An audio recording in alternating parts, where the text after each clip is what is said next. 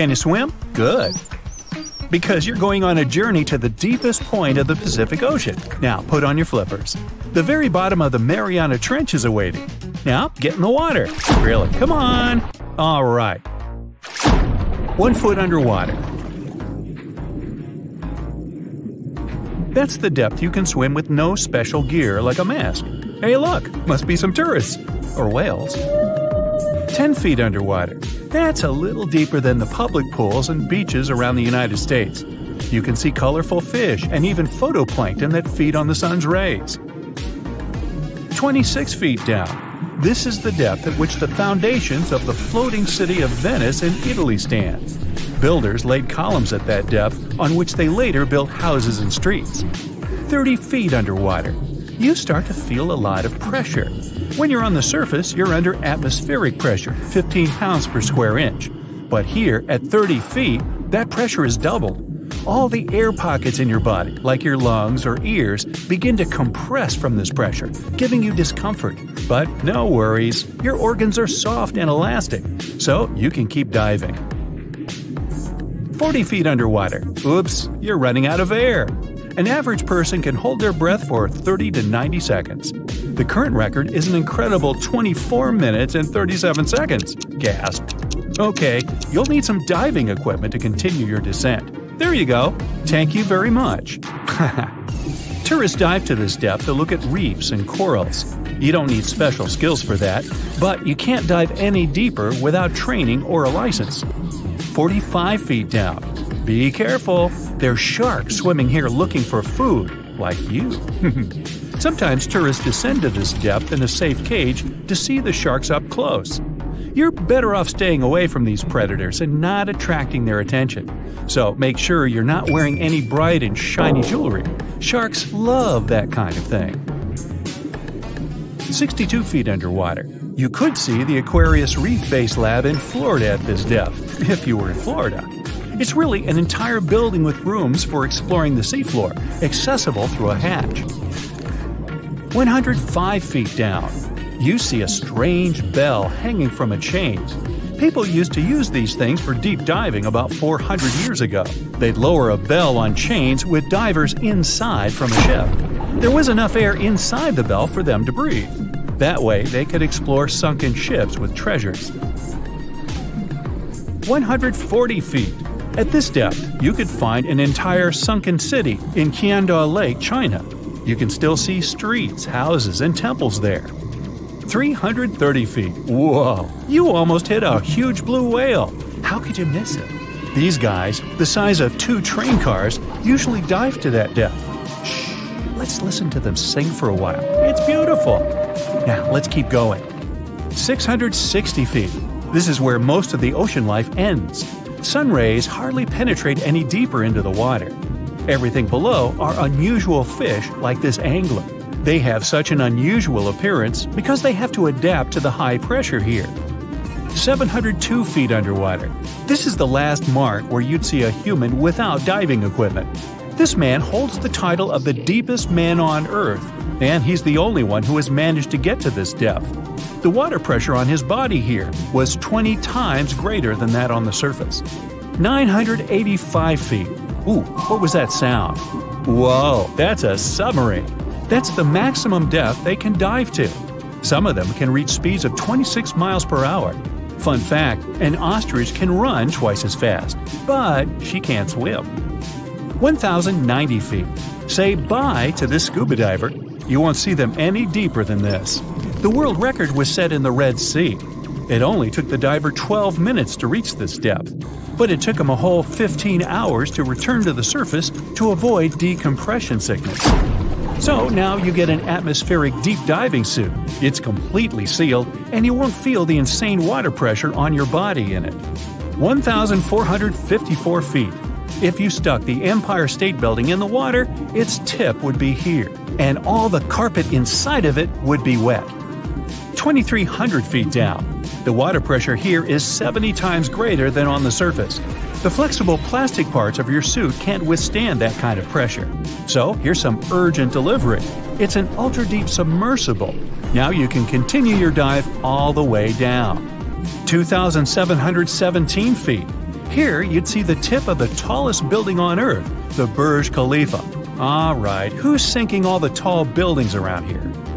5,387 feet. This is the depth of one of the oldest and deepest lakes in the world, Lake Baikal. Its area is slightly larger than the entire country of Belgium. 8,040 feet. That's the record depth the Perdido oil platform reaches in the Gulf of Mexico, and its above water part with three decks is almost as high as the Eiffel Tower. 11,962 feet. This is the average depth of the Atlantic Ocean. You can see a huge tube as wide as a giraffe's neck, and it just seems to be endless. True, this cable connected Europe and North America and used to serve for telegraph communications. 12,303 feet underwater. Suddenly, in the darkness, you see the outline of a ship. No way! That's the Titanic itself. The intense water pressure would crush a person at this depth, so you can only dive down to the Titanic in a submarine. 13,123 feet. Whoa! Here would be the end of the deepest mine in the world, Mponeng Gold Mine in Africa. But you still have deeper places to go. Let's speed up. 20,000 feet. Here you can see the deepest debris of an old ship. The USS Johnston sank more than 70 years ago. You can still clearly see the number 557 on its bow. 26,200 feet. Here, in this total darkness, you'll find the deepest fish in the world, the Mariana snailfish. They're as long as a domestic kitten and have almost transparent skin. Their eyes are poorly developed for vision because the sunlight never reaches this deep. 29,030 feet. If you take Mount Everest, flip it over, and stick it into the Marianas Trench, this is exactly where you'd see its tip. Even though this is the highest point on our planet, you'd still have a lot deeper to go. 35,755 feet down. Here, in the Challenger Deep, you'd still see life. You'd need a microscope for that, though. Bacteria living here feed on organic molecules, similar to oil. A little deeper? Congrats! You've touched the bottom. It's 36,070 feet deep. The pressure here is 1,071 times higher than on the surface. But you're not the first person to have been here. One of the last expeditions to the bottom of the Mariana Trench was in 2012. An American filmmaker descended here in a submarine he designed himself but the pressure broke some of the engines, so it was hard for him to maneuver here. The sonar was also damaged, and some of the batteries drained. He was in the Challenger Deep for about three hours and took many pictures and videos. If you look closely at the bottom itself, you can see bubbles. It's carbon dioxide and liquid sulfur. It's freezing here because of the extreme pressure and temperature close to freezing.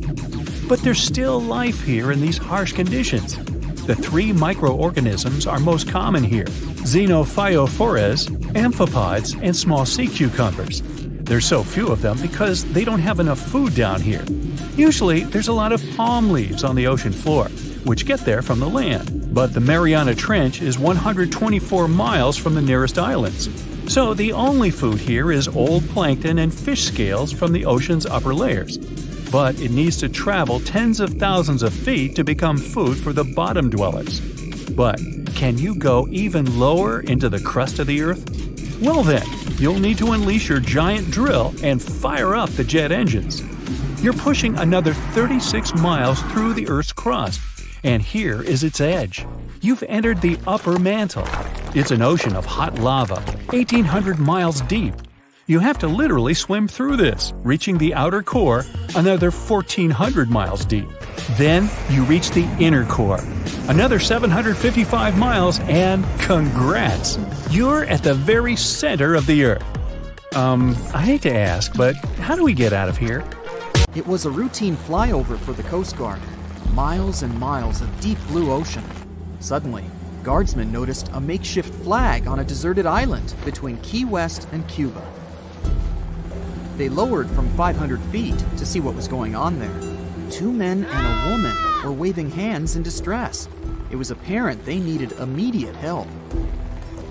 The crew couldn't land at once because of the bad weather, but they dropped some food, water, and a radio to discover why they were there. They learned the castaways had been there in the Bahamas for a whopping 33 days already. Their boat hit a storm and capsized, and all they could do was swim to the nearest island. They also informed the crew the woman needed help as soon as possible. The next day, the rescue crew arrived in a helicopter and took the castaways to a hospital in Key West. This helped them avoid any serious consequences for their health. Everyone who took part in the rescue operation was surprised at how well the rescuees handled the situation and how coherent their speech was. So, five weeks on an island with no food or drinkable water sources. How did they survive, you might ask? Well, they were smart enough to have used coconuts to stay hydrated and conches for food.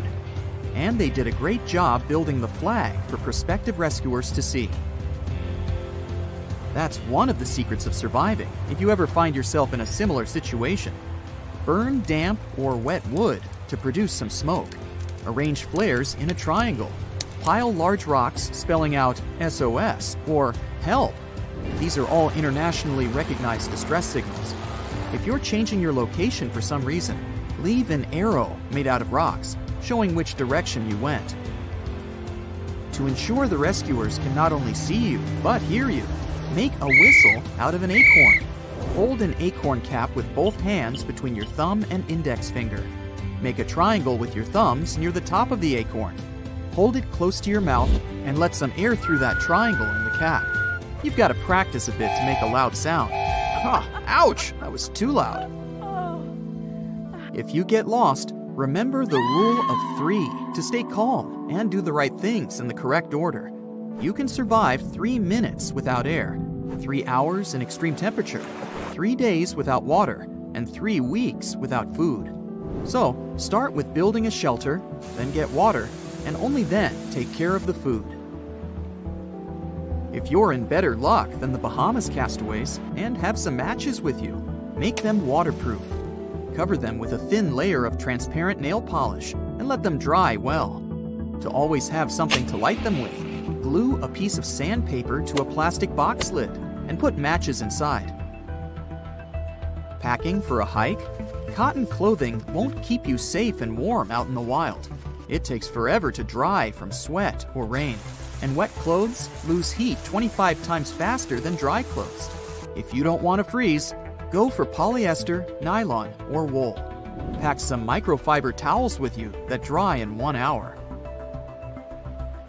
What is that buzzing? Before you run away in horror, remember that the presence of bees is a good sign.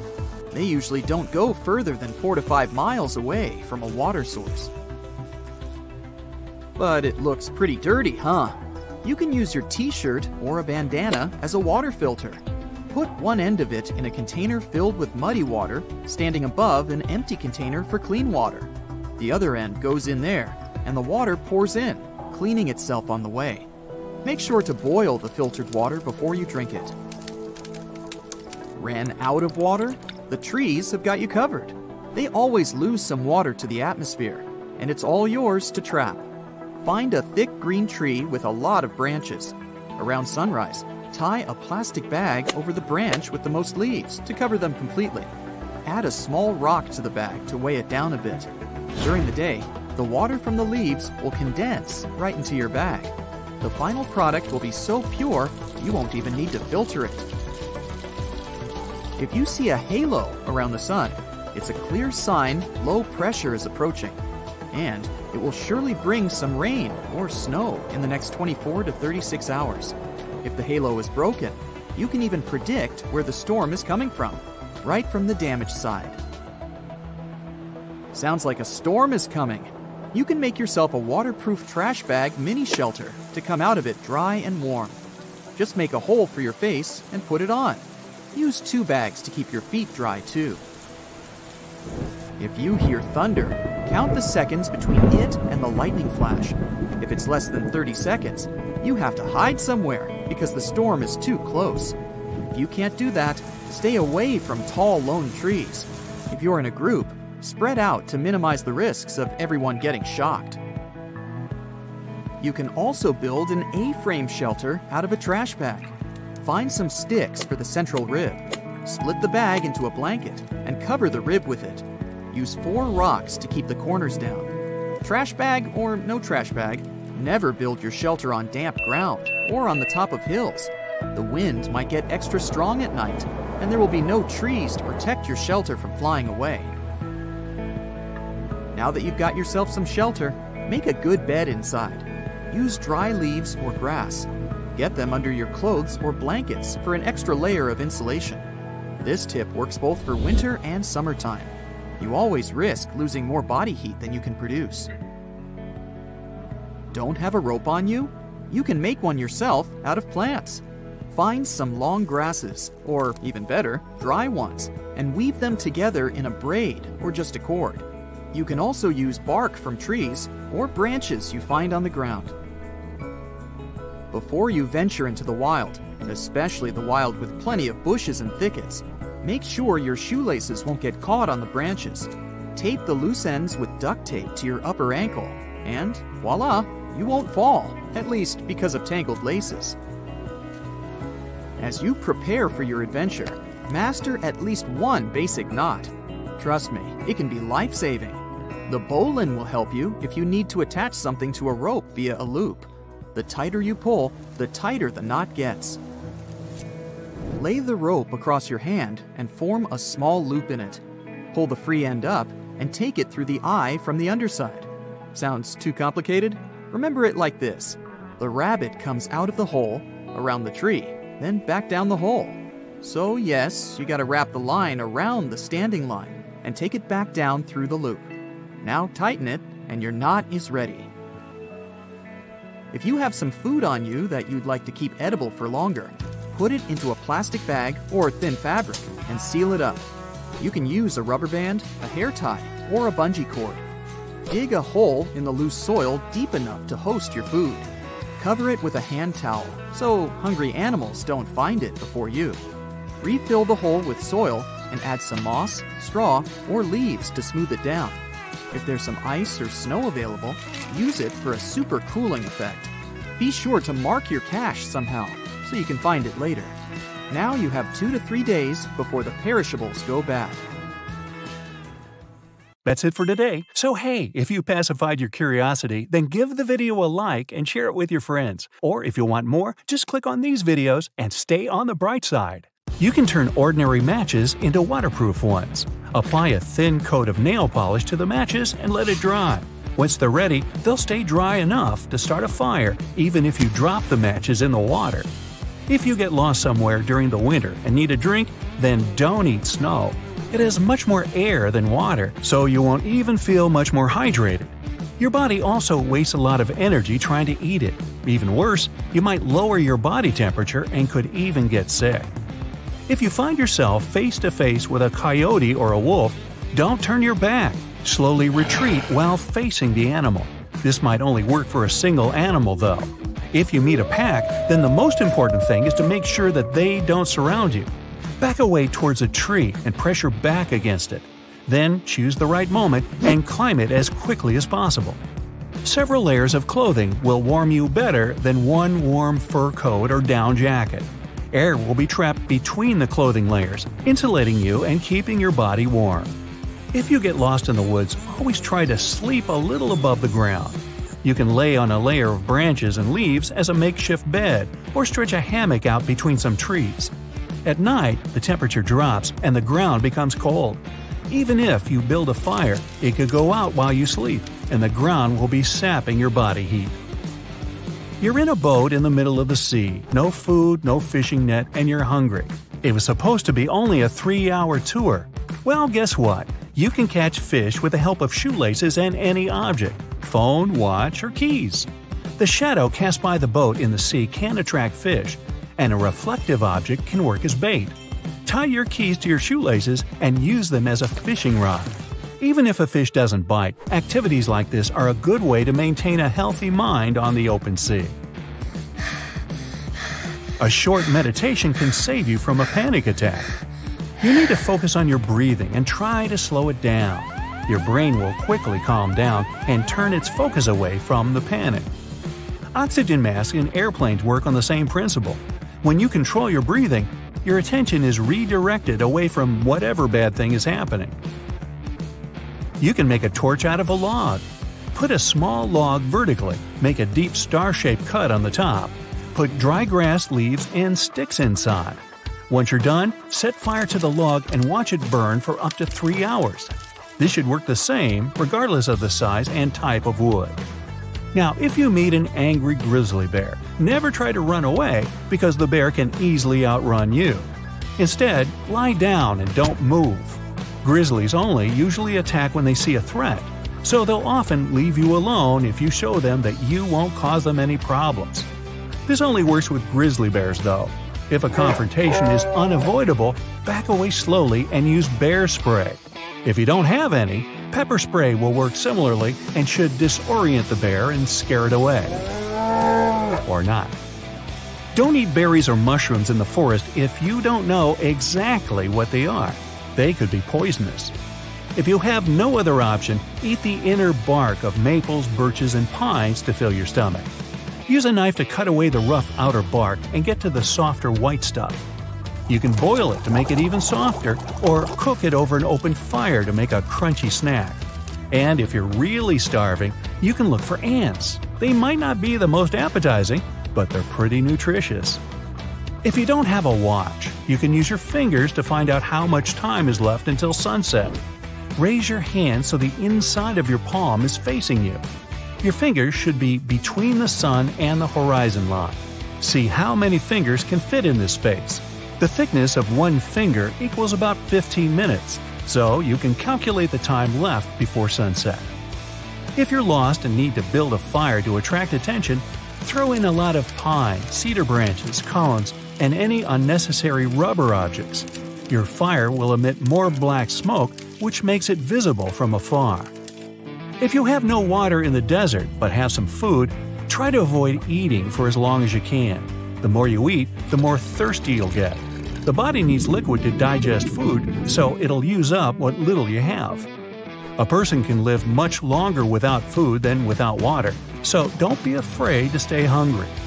Hey, you found a huge puddle of dirty water in the forest. If you're desperate for a drink, you can fill your bottle and filter it into drinking water. To clean it, Make a rope of gauze or clothing. Put one end into the dirty bottle and the other one into the empty one. Before long, the clean water will flow into the empty bottle through the rope while the impurities are left behind. Before hiking, replace your regular shoelaces with paracord shoelaces. If you don't have enough rope, these laces can give you a few extra feet in a pinch. If you're lost in the forest and have nothing to warm you, then take dry leaves and grass from the ground and put it between two layers of clothing. This will help you stay warm for a long time. When you're lost in the desert, try to move as little as possible during the day. Find a shadow or create it from improvised materials and sit in the shade until dark. At night, you'll spend much less energy and use up less fluid while you walk. This will help you to avoid the risk of a heat stroke. If you fall through some ice, don't try to get out like you would in a pool. If you put your hands on the ice and try to push yourself out with your arms, it could crack and make you fall back into the water. You need to stretch your arms parallel to the ice surface and stretch your legs way back so they float in the water. In this horizontal position, start waving your legs as if you're swimming.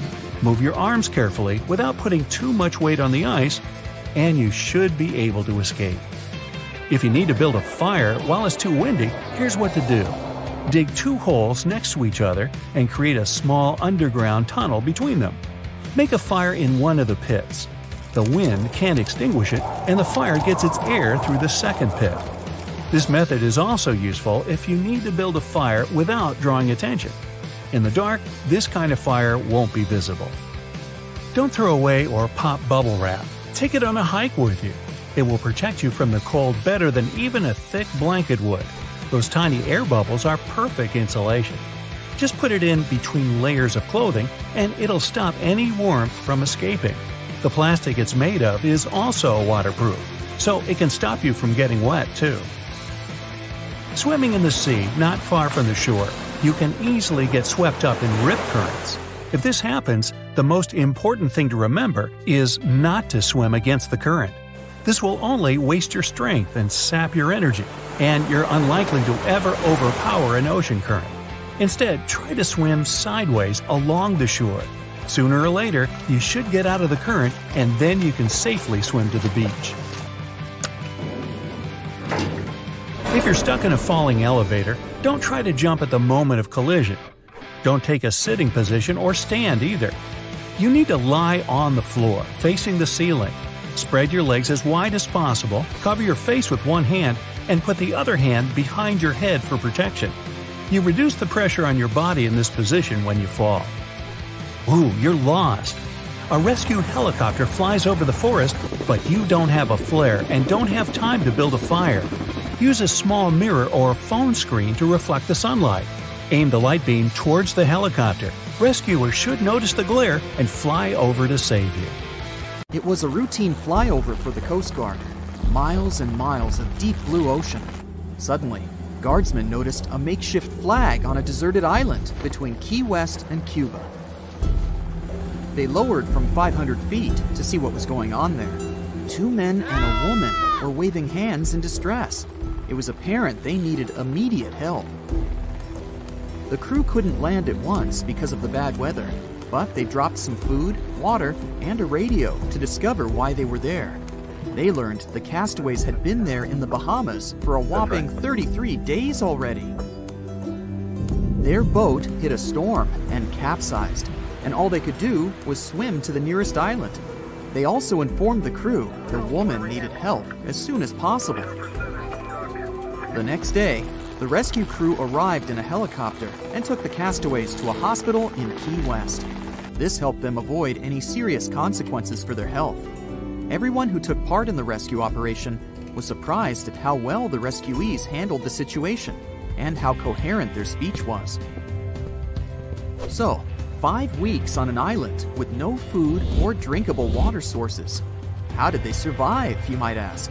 Well, they were smart enough to have used coconuts to stay hydrated and conches for food. And they did a great job building the flag for prospective rescuers to see. That's one of the secrets of surviving if you ever find yourself in a similar situation. Burn damp or wet wood to produce some smoke. Arrange flares in a triangle. Pile large rocks spelling out SOS or HELP.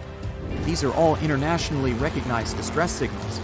If you're changing your location for some reason, leave an arrow made out of rocks showing which direction you went. To ensure the rescuers can not only see you, but hear you, make a whistle out of an acorn. Hold an acorn cap with both hands between your thumb and index finger. Make a triangle with your thumbs near the top of the acorn. Hold it close to your mouth and let some air through that triangle in the cap. You've got to practice a bit to make a loud sound. Ouch! That was too loud. If you get lost, remember the rule of three to stay calm and do the right things in the correct order. You can survive three minutes without air, three hours in extreme temperature, three days without water, and three weeks without food. So, start with building a shelter, then get water, and only then take care of the food. If you're in better luck than the Bahamas castaways and have some matches with you, make them waterproof. Cover them with a thin layer of transparent nail polish and let them dry well. To always have something to light them with, glue a piece of sandpaper to a plastic box lid and put matches inside. Packing for a hike? Cotton clothing won't keep you safe and warm out in the wild. It takes forever to dry from sweat or rain, and wet clothes lose heat 25 times faster than dry clothes. If you don't want to freeze, go for polyester, nylon, or wool. Pack some microfiber towels with you that dry in one hour. What is that buzzing? Before you run away in horror, remember that the presence of bees is a good sign. They usually don't go further than 4 to 5 miles away from a water source. But it looks pretty dirty, huh? You can use your t-shirt or a bandana as a water filter. Put one end of it in a container filled with muddy water, standing above an empty container for clean water. The other end goes in there, and the water pours in, cleaning itself on the way. Make sure to boil the filtered water before you drink it. Ran out of water? The trees have got you covered. They always lose some water to the atmosphere. and it's all yours to trap. Find a thick green tree with a lot of branches. Around sunrise, tie a plastic bag over the branch with the most leaves to cover them completely. Add a small rock to the bag to weigh it down a bit. During the day, the water from the leaves will condense right into your bag. The final product will be so pure, you won't even need to filter it. If you see a halo around the sun, it's a clear sign low pressure is approaching. And it will surely bring some rain or snow in the next 24 to 36 hours. If the halo is broken, you can even predict where the storm is coming from, right from the damaged side. Sounds like a storm is coming. You can make yourself a waterproof trash bag mini shelter to come out of it dry and warm. Just make a hole for your face and put it on. Use two bags to keep your feet dry too. If you hear thunder, count the seconds between it and the lightning flash. If it's less than 30 seconds, you have to hide somewhere because the storm is too close. If you can't do that, stay away from tall lone trees. If you're in a group, spread out to minimize the risks of everyone getting shocked. You can also build an A-frame shelter out of a trash bag. Find some sticks for the central rib. Split the bag into a blanket and cover the rib with it. Use four rocks to keep the corners down. Trash bag or no trash bag, never build your shelter on damp ground or on the top of hills. The wind might get extra strong at night, and there will be no trees to protect your shelter from flying away. Now that you've got yourself some shelter, make a good bed inside. Use dry leaves or grass. Get them under your clothes or blankets for an extra layer of insulation. This tip works both for winter and summertime. You always risk losing more body heat than you can produce. Don't have a rope on you? You can make one yourself out of plants. Find some long grasses, or even better, dry ones, and weave them together in a braid or just a cord. You can also use bark from trees or branches you find on the ground. Before you venture into the wild, especially the wild with plenty of bushes and thickets, make sure your shoelaces won't get caught on the branches. Tape the loose ends with duct tape to your upper ankle, and voila, you won't fall, at least because of tangled laces. As you prepare for your adventure, master at least one basic knot. Trust me, it can be life saving. The bowline will help you if you need to attach something to a rope via a loop. The tighter you pull, the tighter the knot gets. Lay the rope across your hand and form a small loop in it. Pull the free end up and take it through the eye from the underside. Sounds too complicated? Remember it like this the rabbit comes out of the hole, around the tree, then back down the hole. So, yes, you gotta wrap the line around the standing line and take it back down through the loop. Now tighten it, and your knot is ready. If you have some food on you that you'd like to keep edible for longer, put it into a plastic bag or thin fabric and seal it up. You can use a rubber band, a hair tie, or a bungee cord. Dig a hole in the loose soil deep enough to host your food. Cover it with a hand towel so hungry animals don't find it before you. Refill the hole with soil and add some moss, straw, or leaves to smooth it down. If there's some ice or snow available, use it for a super cooling effect. Be sure to mark your cache somehow so you can find it later. Now you have two to three days before the perishables go bad. That's it for today. So hey, if you pacified your curiosity, then give the video a like and share it with your friends. Or if you want more, just click on these videos and stay on the bright side. You're going to Ilha de Queimada Grande, one of the most dangerous islands in the world. There, you find yourself among rainforests, huge rocks, and grasslands. The place is home to birds, locusts, and giant cockroaches. But there's one more animal, and because of it, the island got its notorious reputation. Snakes live there, and a lot of them. So many that the place is also known as Snake Island. Will you survive there? Located just 20 miles away from the coast of Brazil, the island has an area of 43 hectares, or over 100 acres. It probably got cut off from the mainland after the last ice age. The snakes were also separated from most other animal species. They didn't have competitors and had an unlimited source of food. In such a small area, there are up to 4,000 snakes. That's one snake for every 10 square feet. It would be a difficult feat not to come across a snake on this island. Not only is this snake, the golden lancehead, one of the most numerous on the island, but it's also a highly venomous pit viper species. And it's also one of the most venomous in all of Latin America. Its venom is so potent due to the isolation of the species, with only birds sharing the land with them. To catch these birds, the snake's venom needed to become extra strong. And indeed, since they got separated from their distant relatives, their venom has become up to five times more powerful. Most of the time, these snakes hide in the trees or amongst leaves on the ground. If you find yourself stranded here, you'll want to keep yourself a safe distance away. Snakes mainly use their sense of smell and rely on vibrations. If you get too close to one, either stand still or slowly walk away. If you make too many vibrations, this will make them feel threatened, causing them to strike. If you spot them a safe distance away, or if you're walking toward tall grass, stamp your feet a couple of times. This will notify snakes of your presence. They won't risk taking down prey larger than they are and will likely slither away. Carrying a stick is always a good idea, just in case you happen to come across a snake accidentally. This way, you'll have an extension of your arm that cannot be bitten. This simple thing might save your life. A stick with a V shape on the end will give you even more advantage.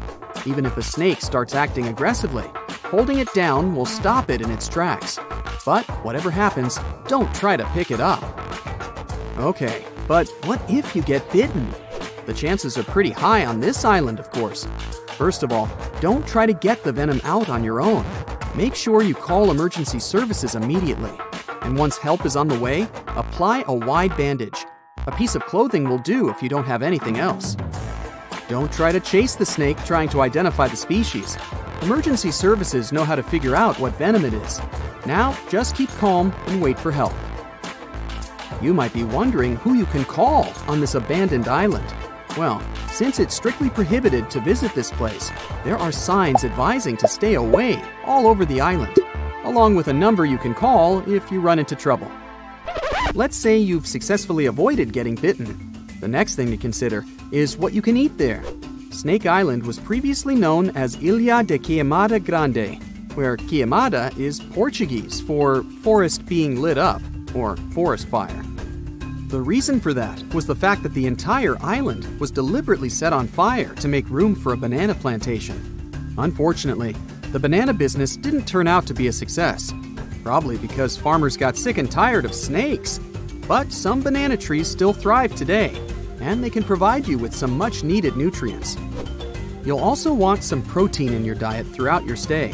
Luckily, along with the snakes trapped on the island, there are also cockroaches. These giant prehistoric looking roaches come out at night to feed on plants. Get that barbecue started and enjoy the rare delicacy this island provides. A great way to survive on the island is to avoid it altogether.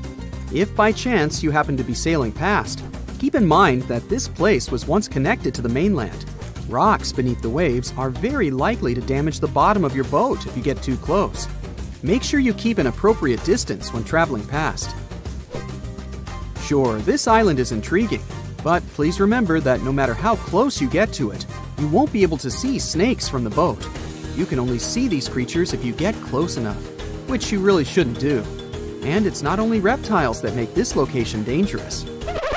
Pirates visit the island quite often. Not the sea shanty singing peg legged arr pirates, but biopirates who come there to capture the very thing that makes it so dangerous. They come there for snakes, to catch them and sell them illegally. Since the island got cut off around 11,000 years ago, the golden lancehead has evolved within its own unique habitat. So, although there are many reptiles on this island, they're still an endangered species. Due to their limited numbers, their value is very high, reaching up to $30,000 on illegal markets, which gives biopirates the motivation to catch them. I can think of better ways to make a living. Anyway, let's say you've got all the resources necessary to survive in one of the most dangerous places on Earth. Do you think you would manage this feat? Perhaps you think it's impossible. You'd be surprised at how possible it can be, if you know what you're doing. It turns out many have visited this scary place before. Research teams often come there. They study the golden lancehead snake, its environment, and its food sources for conservation purposes. But scientists always make sure there's a doctor on the team. There's also a lighthouse on Snake Island. It had been operated by people until the 1920s. Then it became automated. One guess why. Brazilian authorities visit the lighthouse once a year to make sure it's still functional. Locals on the mainland know the reputation of the island, so the stories of people going missing are minimal. But one group of fishers once got too close to the island. As they were sailing along their normal route, they accidentally neared the shore. Their boat hit a rock under the waves and began filling with water. As the boat was quickly sinking, the men had only two options to try to survive in the rough sea or swim to the shores of Snake Island. It was a hard choice to make. After all, they had heard the stories, and it wasn't just about snakes. Rumor had it that the island was cursed. Regardless of the stories, the fishers chose to take their chances with Snake Island. After making it to the shore, they tried to be careful. Their knowledge of the island could help them survive. Most importantly, they knew to avoid the rainforest at all costs. As the men got hungry, they carefully walked along the edge of the forest, warily collecting bananas. They were mostly sitting, waiting, and conserving their energy. They could only drink water when it rained. It was just enough to sustain them. They slept on the beach, unprotected from the elements and weather. And all the time, they were so close to the comfort of the lighthouse or caves. They were probably overly cautious, but it was either enduring some discomfort or risking their lives for a dry bed. They didn't yield to the temptation. They managed to survive for three days without being bitten by a snake. After that, a passing boat finally rescued them. So, now you know anything is possible. That's it for today. So hey, if you pacified your curiosity, then give the video a like and share it with your friends. Or if you want more, just click on these videos and stay on the bright side. Hmm, on the outside, the surface of this lake looks like the aftermath of a disaster. Empty tree trunks spike out of the turquoise waters. The lake is surrounded by mountains, making it a quiet but unsettling place. But those who dare to swim under these dangerous waters will soon discover a whole new world. This isn't the beginning of a fairy tale, it's the actual story of Kaindy Lake, located in Saty, Kazakhstan. Back in 1911, an earthquake caused a major landslide in this location. The valley created eventually filled up with rainwater, practically submerging the forest. The trees that are located above the waters might look very sad, but beneath the surface, they remind you of an underwater forest. Since the waters are crystal clear most of the time, you can still see this fascinating view even from its shores. The ice cold water makes this lake so tricky and, at times, even dangerous. And don't forget about all the algae, plants, and submerged trees that can rapidly become risky obstacles. Hey, I enjoy a steamy hot bath, but this boiling lake I'll tell you about now is really the stuff of scary dreams. It's located on the Caribbean island of Dominica, and its waters have temperatures between 180 and 197 degrees Fahrenheit. And that's just around the edges, since no one has ever dared to reach the middle of the lake to measure its core temperature. It's true that the heat can go down from time to time, but you never know when these waters may start to boil again. The place is also dangerous because of the gases it releases, such as carbon dioxide. It doesn't smell nice, trust me, but that's mostly because of the sulfur stuck in the steamy air. This seemingly calm lake also carries a dangerous surprise. Lake Monoun, located in West Province, Cameroon. It's one of the few erupting lakes on the whole planet similar to a volcano, and most of the time it does so without any warnings. Its last eruption dates back to 1894 when it caused serious damage. The chemical mechanism of such lakes works like a can of soda that you shake before opening. There are risky gases on the bottom of the waters, so any disturbance on the surface may trigger their eruption. Natron Lake in Tanzania may be beautiful to watch because of its unique reddish coloring, but it's definitely not a place you'd want to take a swim in. While the water is extremely salty, it also combines with algae, which, by the way, are responsible for the coloring. And that's not even the riskiest thing about it. Natron Lake has pH levels so high that they become corrosive. If you dampen a piece of dyed material in this lake, it'll soon be stripped of its color. These high levels of acidity can also cause serious problems to the human skin. It's not all bad for some creatures, as Lake Natron is the only home to over 2.5 million small flamingos. These acidic and brackish waters support their survival, so it's no wonder they like to stick around. Lake Nicaragua's danger factor has less to do with chemistry and more to do with its inhabitants. It's located on the border of Costa Rica and Nicaragua and is the largest freshwater lake in Central America. When you first look at it, you won't think it can be dangerous, but because of the bull sharks inhabiting it, I wouldn't recommend taking a swim. Sharks tend to be unpredictable and at times intimidating creatures. Plus, they will eat everything if needed. Scientists initially believed this species of shark was only found in this lake, but they soon discovered that people had seen the same sharks in the Caribbean Sea. These astonishing creatures not only cross a distance of over 120 miles to get here, but can also adapt to freshwater, something not all fish can do. Belize's Great Blue Hole may seem alluring to divers. I mean, it has a gorgeous deep blue color and is pretty close to the mainland, about 62 miles. The problem is that beneath the surface of these tranquil waters is a mixed up series of tunnels which contain many types of coral and other wildlife. These caves are what makes diving through the Great Blue Hole tricky. More so, specialists discovered that deeper into the waters there are fewer and fewer creatures. Why? Because of a hidden layer of hydrogen sulfide that spans over the whole width of the sinkhole. Since there's no oxygen, no creature can ever survive this deep into the hole. Lake Lanier is the largest lake in the state of Georgia.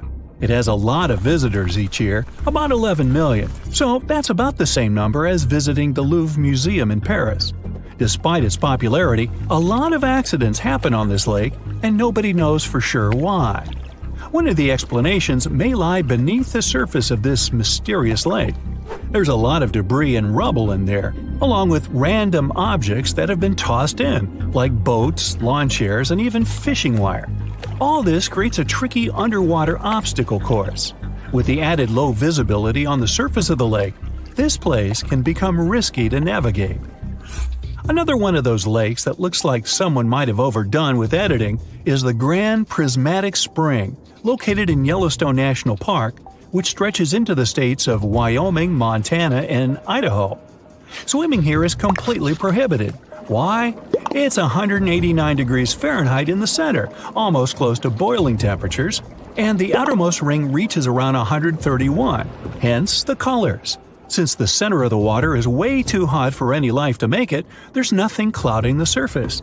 The lack of any living organisms here creates that vivid blue that looks almost painted over. On the small Mediterranean island of Cyprus, there's not a lot of rain during the summer. That's why some bodies of water here become so dry that in certain areas they get covered in a layer of baked salt. It's the case for the Larnaca Salt Lake. Now don't be fooled by the eerie landscape. These lands can easily become a trap.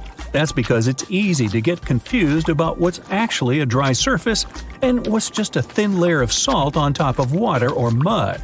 More so, underneath the crust are salt crystals, which can cause problems for people's skin. Samisen Hole is one of the most dangerous places to swim in the whole of Thailand. It's because it's very deep, reaching 280 feet, and gets extremely dark. At certain points, as divers get lower, they can even reach places with zero visibility. No wonder a lot of people get confused and can't seem to find their way up anymore. The largest lake in Africa and the third largest lake in the entire world is called Lake Victoria. Not all of its waters are unsafe for people, but some regions can rapidly cause problems. Why? Particularly because it has its own isolated weather system, and that makes the weather really unreliable. It can go from bright and sunny to terrible in a matter of seconds. I mean, who would want to get caught swimming in the middle of a storm, right? Pustoye Lake is located in Siberia, So I'm guessing I don't need to tell you the waters here get extremely cold. But if you look at the lake, there's nothing out of the ordinary with these waters. Hmm, is that completely true? Eh, most likely not. And people tend to avoid swimming here at all costs, even if they can resist the freezing cold waters. So, what makes Lake Pustovi so mysterious and dangerous? Well, nothing seems to want to live here, and scientists have yet to discover why. They tried to fill the lake with many types of fish and various plant species to see if they could survive in the waters, but the results were hmm, disappointing. Since we don't know exactly what makes it so difficult to survive here, don't go running for your swimming trunks just yet. It's best if you stay away. Hey, you don't have to tell me twice. That's it for today. So hey, if you pacified your curiosity, then give the video a like and share it with your friends. Or if you want more, just click on these videos and stay on the bright side. That's it for today. So hey, if you pacified your curiosity, then give the video a like and share it with your friends. Or if you want more, just click on these videos and stay on the bright side. Can you swim? Good because you're going on a journey to the deepest point of the Pacific Ocean. Now, put on your flippers. The very bottom of the Mariana Trench is awaiting. Now, get in the water. Really, come on. All right. One foot underwater. That's the depth you can swim with no special gear like a mask. Hey, look, must be some tourists. Or whales. 10 feet underwater. That's a little deeper than the public pools and beaches around the United States. You can see colorful fish and even phytoplankton that feed on the sun's rays. 26 feet down. This is the depth at which the foundations of the floating city of Venice in Italy stand. Builders laid columns at that depth on which they later built houses and streets. 30 feet underwater. You start to feel a lot of pressure. When you're on the surface, you're under atmospheric pressure, 15 pounds per square inch. But here, at 30 feet, that pressure is doubled. All the air pockets in your body, like your lungs or ears, begin to compress from this pressure, giving you discomfort. But no worries, your organs are soft and elastic, so you can keep diving. 40 feet underwater. Oops, you're running out of air. An average person can hold their breath for 30 to 90 seconds. The current record is an incredible 24 minutes and 37 seconds. Gasp. Okay, you'll need some diving equipment to continue your descent. There you go. Thank you very much. Tourists dive to this depth to look at reefs and corals. You don't need special skills for that, but you can't dive any deeper without training or a license. 45 feet down. Be careful, there's sharks swimming here looking for food, like you. Sometimes tourists descend to this depth in a safe cage to see the sharks up close. You're better off staying away from these predators and not attracting their attention. So make sure you're not wearing any bright and shiny jewelry. Sharks love that kind of thing. 62 feet underwater. You could see the Aquarius Reef Base Lab in Florida at this depth, if you were in Florida. It's really an entire building with rooms for exploring the seafloor, accessible through a hatch. 105 feet down, you see a strange bell hanging from a chain. People used to use these things for deep diving about 400 years ago. They'd lower a bell on chains with divers inside from a ship. There was enough air inside the bell for them to breathe. That way, they could explore sunken ships with treasures. 140 feet. At this depth, you could find an entire sunken city in Qiandao Lake, China. You can still see streets, houses, and temples there. 330 feet. Whoa! You almost hit a huge blue whale. How could you miss it? These guys, the size of two train cars, usually dive to that depth. Shh, let's listen to them sing for a while. It's beautiful. Now, let's keep going. 660 feet. This is where most of the ocean life ends. Sun rays hardly penetrate any deeper into the water. Everything below are unusual fish like this angler. They have such an unusual appearance because they have to adapt to the high pressure here. 702 feet underwater. This is the last mark where you'd see a human without diving equipment. This man holds the title of the deepest man on Earth, and he's the only one who has managed to get to this depth. The water pressure on his body here was 20 times greater than that on the surface. 985 feet. Ooh, what was that sound? Whoa, that's a submarine. That's the maximum depth they can dive to. Some of them can reach speeds of 26 miles per hour. Fun fact an ostrich can run twice as fast, but she can't swim. 1,090 feet. Say bye to this scuba diver. You won't see them any deeper than this. The world record was set in the Red Sea. It only took the diver 12 minutes to reach this depth, but it took him a whole 15 hours to return to the surface to avoid decompression sickness. So now you get an atmospheric deep diving suit. It's completely sealed, and you won't feel the insane water pressure on your body in it. 1,454 feet. If you stuck the Empire State Building in the water, its tip would be here, and all the carpet inside of it would be wet. 2,300 feet down. The water pressure here is 70 times greater than on the surface. The flexible plastic parts of your suit can't withstand that kind of pressure. So, here's some urgent delivery. It's an ultra deep submersible. Now you can continue your dive all the way down. 2,717 feet. Here you'd see the tip of the tallest building on Earth, the Burj Khalifa. Alright, who's sinking all the tall buildings around here? 5,387 feet. This is the depth of one of the oldest and deepest lakes in the world, Lake Baikal. Its area is slightly larger than the entire country of Belgium. 8,040 feet. That's the record depth the Perdido oil platform reaches in the Gulf of Mexico, and its above water part with three decks is almost as high as the Eiffel Tower. 11,962 feet. This is the average depth of the Atlantic Ocean. You can see a huge tube as wide as a giraffe's neck, and it just seems to be endless. True, this cable connected Europe and North America and used to serve for telegraph communications. 12,303 feet underwater. Suddenly, in the darkness, you see the outline of a ship. No way! That's the Titanic itself. The intense water pressure would crush a person at this depth, so you can only dive down to the Titanic in a submarine. 13,123 feet. Whoa! Here would be the end of the deepest mine in the world, Mponeng Gold Mine in Africa. But you still have deeper places to go. Let's speed up. 20,000 feet. Here you can see the deepest debris of an old ship. The USS Johnston sank more than 70 years ago. You can still clearly see the number 557 on its bow. 26,200 feet. Here, in this total darkness, you'll find the deepest fish in the world, the Mariana snailfish. They're as long as a domestic kitten and have almost transparent skin. Their eyes are poorly developed for vision because the sunlight never reaches this deep. 29,030 feet. If you take Mount Everest, flip it over, and stick it into the Marianas Trench, this is exactly where you'd see its tip. Even though this is the highest point on our planet, you'd still have a lot deeper to go. 35,755 feet down.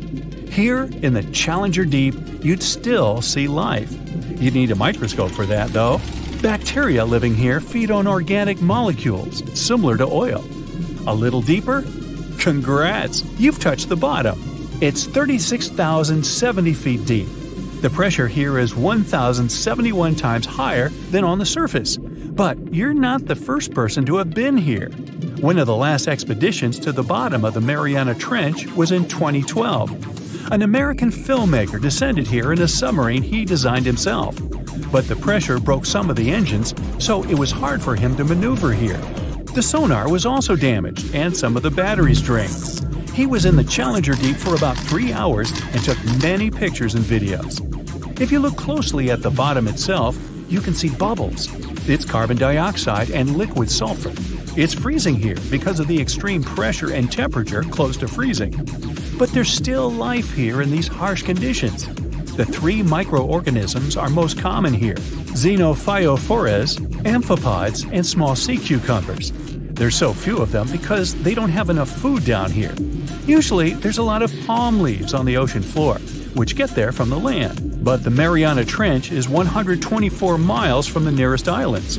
So the only food here is old plankton and fish scales from the ocean's upper layers. But it needs to travel tens of thousands of feet to become food for the bottom dwellers. But can you go even lower into the crust of the Earth? Well, then, you'll need to unleash your giant drill and fire up the jet engines. You're pushing another 36 miles through the Earth's crust, and here is its edge. You've entered the upper mantle. It's an ocean of hot lava, 1,800 miles deep. You have to literally swim through this, reaching the outer core, another 1,400 miles deep. Then you reach the inner core, another 755 miles, and congrats! You're at the very center of the Earth. Um, I hate to ask, but how do we get out of here? It was a routine flyover for the Coast Guard. Miles and miles of deep blue ocean. Suddenly, guardsmen noticed a makeshift flag on a deserted island between Key West and Cuba. They lowered from 500 feet to see what was going on there. Two men and a woman were waving hands in distress. It was apparent they needed immediate help. The crew couldn't land at once because of the bad weather, but they dropped some food, water, and a radio to discover why they were there. They learned the castaways had been there in the Bahamas for a whopping 33 days already. Their boat hit a storm and capsized, and all they could do was swim to the nearest island. They also informed the crew the woman needed help as soon as possible. The next day, the rescue crew arrived in a helicopter and took the castaways to a hospital in Key West. This helped them avoid any serious consequences for their health. Everyone who took part in the rescue operation was surprised at how well the rescuees handled the situation and how coherent their speech was. So, five weeks on an island with no food or drinkable water sources. How did they survive, you might ask? Well, they were smart enough to have used coconuts to stay hydrated and conches for food. And they did a great job building the flag for prospective rescuers to see. That's one of the secrets of surviving if you ever find yourself in a similar situation. Burn damp or wet wood to produce some smoke. Arrange flares in a triangle. Pile large rocks spelling out SOS or HELP.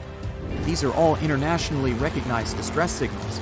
If you're changing your location for some reason, leave an arrow made out of rocks showing which direction you went. To ensure the rescuers can not only see you, but hear you, make a whistle out of an acorn. Hold an acorn cap with both hands between your thumb and index finger. Make a triangle with your thumbs near the top of the acorn. Hold it close to your mouth and let some air through that triangle in the cap. You've got to practice a bit to make a loud sound. Ah, ouch! That was too loud. If you get lost, remember the rule of three to stay calm and do the right things in the correct order. You can survive three minutes without air, three hours in extreme temperature, three days without water, and three weeks without food. So, start with building a shelter, then get water, and only then take care of the food. If you're in better luck than the Bahamas castaways and have some matches with you, make them waterproof. Cover them with a thin layer of transparent nail polish and let them dry well. To always have something to light them with, glue a piece of sandpaper to a plastic box lid and put matches inside. Packing for a hike? Cotton clothing won't keep you safe and warm out in the wild. It takes forever to dry from sweat or rain, and wet clothes lose heat 25 times faster than dry clothes. If you don't want to freeze, go for polyester, nylon, or wool. Pack some microfiber towels with you that dry in one hour. What is that buzzing? Before you run away in horror, remember that the presence of bees is a good sign. They usually don't go further than 4 to 5 miles away from a water source. But it looks pretty dirty, huh? You can use your t shirt or a bandana as a water filter. Put one end of it in a container filled with muddy water, standing above an empty container for clean water. The other end goes in there, and the water pours in, cleaning itself on the way. Make sure to boil the filtered water before you drink it. Ran out of water? The trees have got you covered. They always lose some water to the atmosphere, and it's all yours to trap. Find a thick green tree with a lot of branches. Around sunrise, tie a plastic bag over the branch with the most leaves to cover them completely. add a small rock to the bag to weigh it down a bit. During the day, the water from the leaves will condense right into your bag. The final product will be so pure you won't even need to filter it. If you see a halo around the sun, it's a clear sign low pressure is approaching. And it will surely bring some rain or snow in the next 24 to 36 hours. If the halo is broken, you can even predict where the storm is coming from, right from the damaged side. Sounds like a storm is coming. You can make yourself a waterproof trash bag mini shelter to come out of it dry and warm. Just make a hole for your face and put it on. Use two bags to keep your feet dry too. If you hear thunder, count the seconds between it and the lightning flash. If it's less than 30 seconds, you have to hide somewhere because the storm is too close. If you can't do that, stay away from tall lone trees. If you're in a group, spread out to minimize the risks of everyone getting shocked. You can also build an A-frame shelter out of a trash bag. Find some sticks for the central rib. Split the bag into a blanket and cover the rib with it. Use four rocks to keep the corners down. Trash bag or no trash bag, never build your shelter on damp ground or on the top of hills. The wind might get extra strong at night, and there will be no trees to protect your shelter from flying away. Now that you've got yourself some shelter, make a good bed inside. Use dry leaves or grass. Get them under your clothes or blankets for an extra layer of insulation. This tip works both for winter and summertime. You always risk losing more body heat than you can produce. Don't have a rope on you? You can make one yourself out of plants. Find some long grasses, or even better, dry ones, and weave them together in a braid or just a cord. You can also use bark from trees or branches you find on the ground. Before you venture into the wild, especially the wild with plenty of bushes and thickets, make sure your shoelaces won't get caught on the branches. Tape the loose ends with duct tape to your upper ankle, and voila, you won't fall, at least because of tangled laces. As you prepare for your adventure, master at least one basic knot. Trust me, it can be life saving. The bowline will help you if you need to attach something to a rope via a loop. The tighter you pull, the tighter the knot gets. Lay the rope across your hand and form a small loop in it. Pull the free end up and take it through the eye from the underside. Sounds too complicated? Remember it like this the rabbit comes out of the hole, around the tree, then back down the hole. So, yes, you gotta wrap the line around the standing line and take it back down through the loop. Now tighten it, and your knot is ready. If you have some food on you that you'd like to keep edible for longer, put it into a plastic bag or thin fabric and seal it up. You can use a rubber band, a hair tie, or a bungee cord. Dig a hole in the loose soil deep enough to host your food. Cover it with a hand towel so hungry animals don't find it before you. Refill the hole with soil and add some moss, straw, or leaves to smooth it down. If there's some ice or snow available, use it for a super cooling effect. Be sure to mark your cache somehow so you can find it later. Now you have two to three days before the perishables go bad. That's it for today. So hey, if you pacified your curiosity, then give the video a like and share it with your friends. Or if you want more, just click on these videos and stay on the bright side. You can turn ordinary matches into waterproof ones. Apply a thin coat of nail polish to the matches and let it dry. Once they're ready, they'll stay dry enough to start a fire even if you drop the matches in the water. If you get lost somewhere during the winter and need a drink, then don't eat snow. It has much more air than water, so you won't even feel much more hydrated.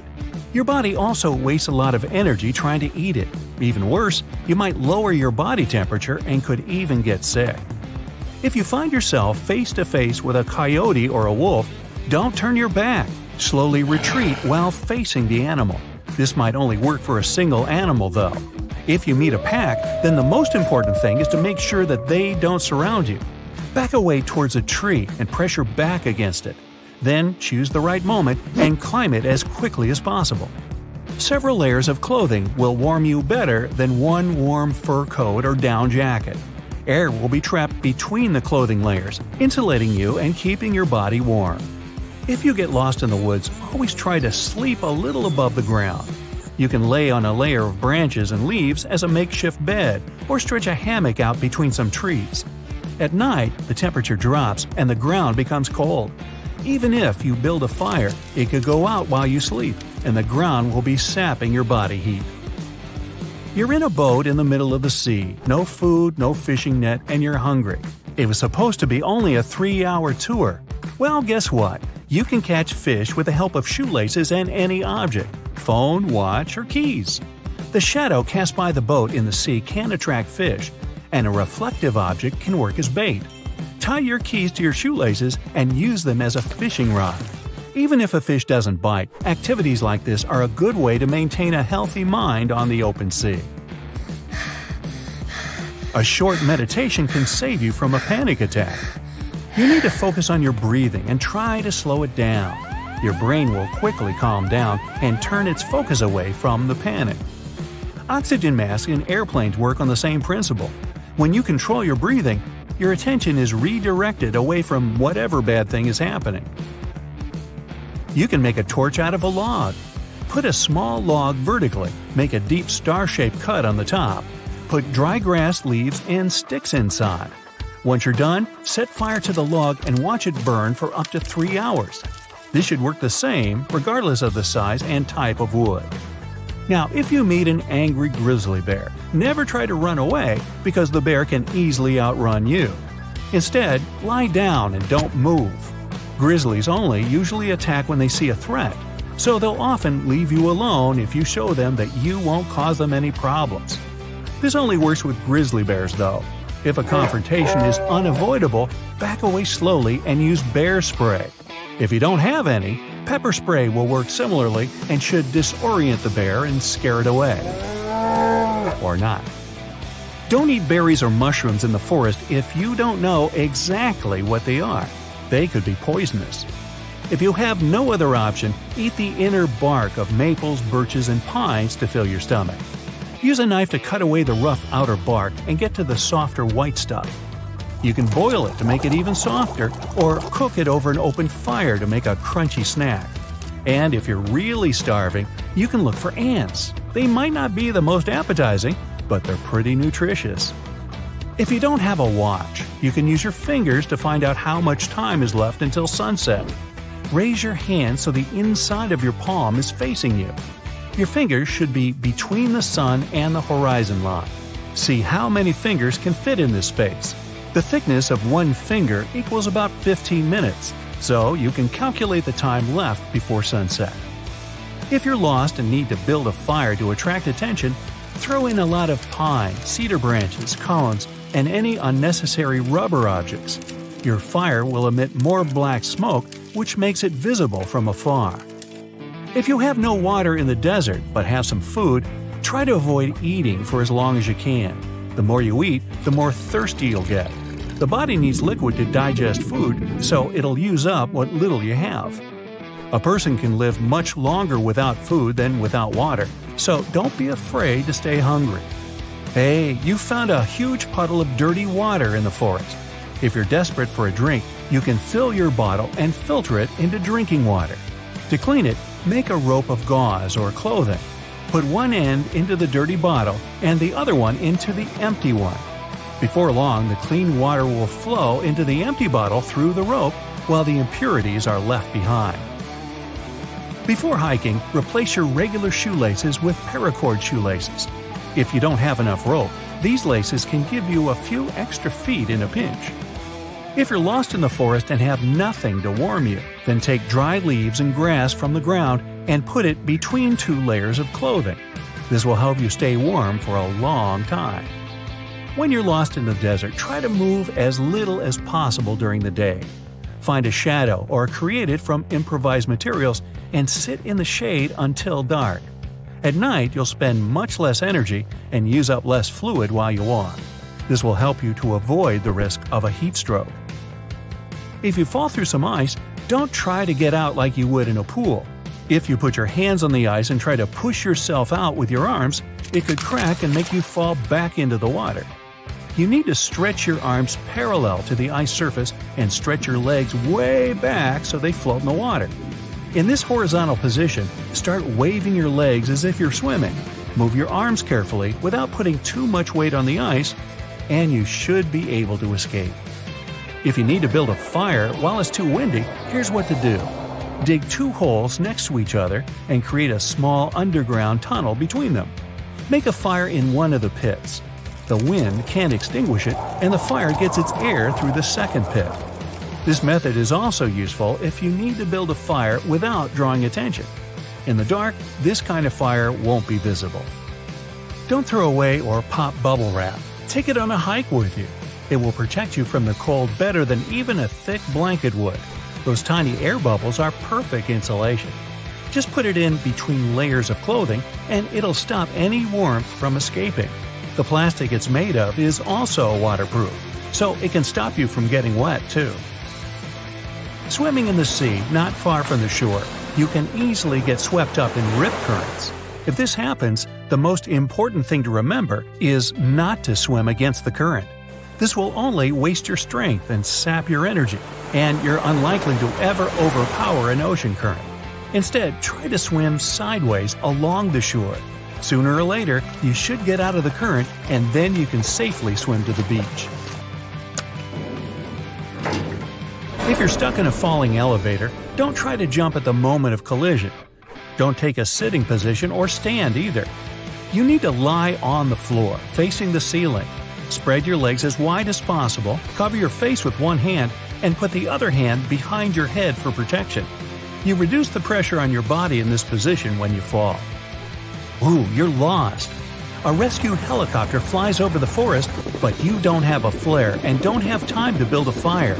Use a small mirror or phone screen to reflect the sunlight. Aim the light beam towards the helicopter. Rescuers should notice the glare and fly over to save you. It was a routine flyover for the Coast Guard. Miles and miles of deep blue ocean. Suddenly, guardsmen noticed a makeshift flag on a deserted island between Key West and Cuba. They lowered from 500 feet to see what was going on there. Two men and a woman were waving hands in distress. It was apparent they needed immediate help. The crew couldn't land at once because of the bad weather, but they dropped some food, water, and a radio to discover why they were there. They learned the castaways had been there in the Bahamas for a whopping 33 days already. Their boat hit a storm and capsized, and all they could do was swim to the nearest island. They also informed the crew the woman needed help as soon as possible.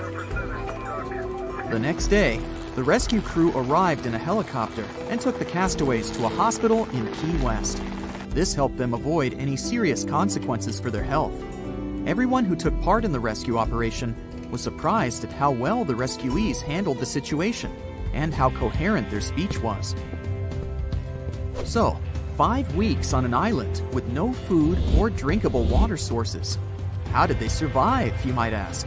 Well, they were smart enough to have used coconuts to stay hydrated and conches for food.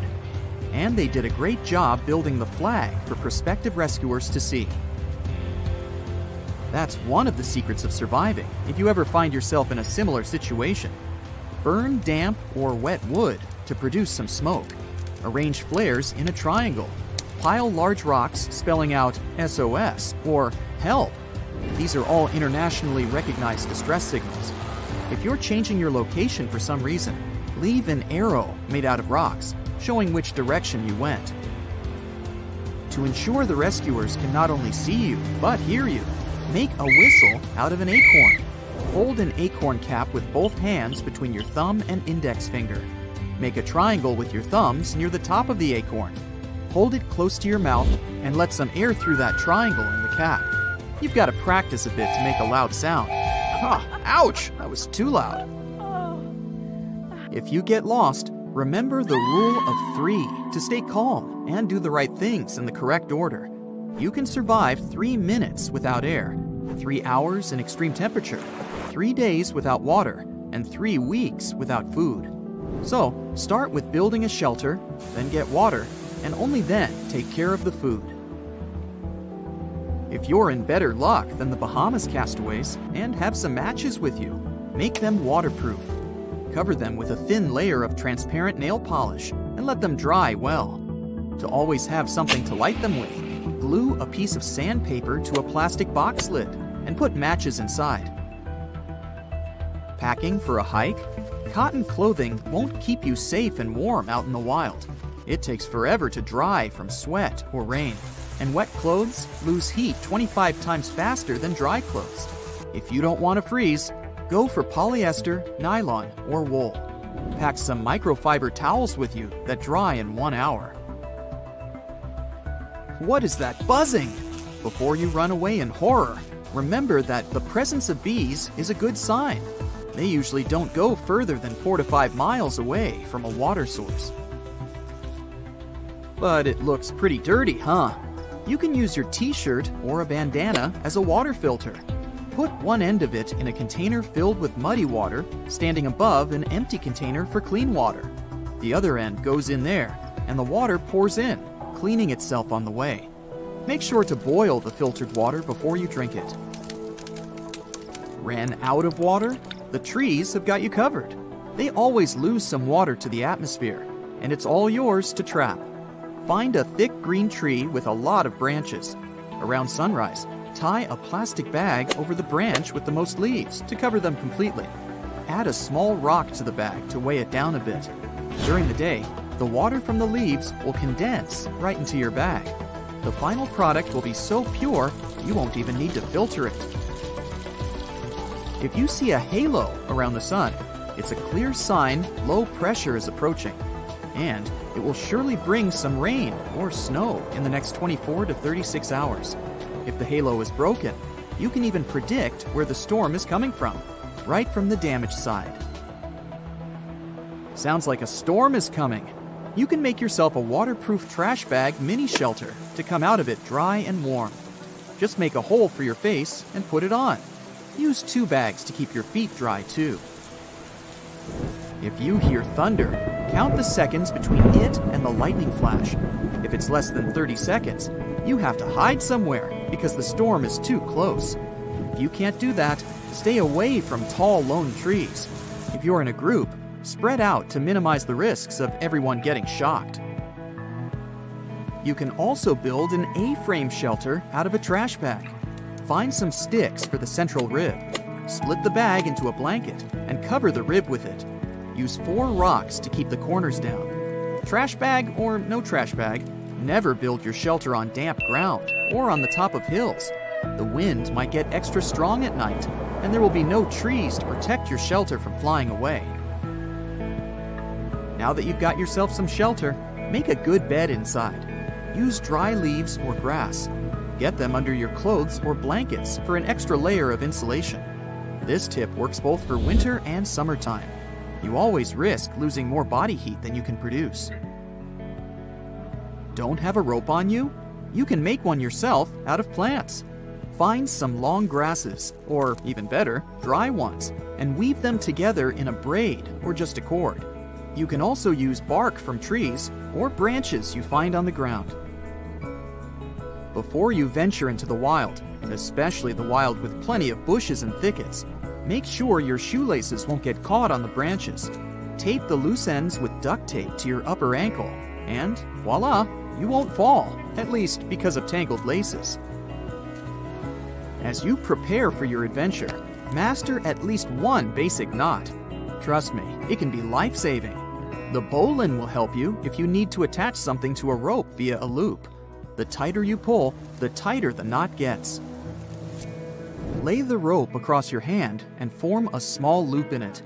Pull the free end up and take it through the eye from the underside. Sounds too complicated?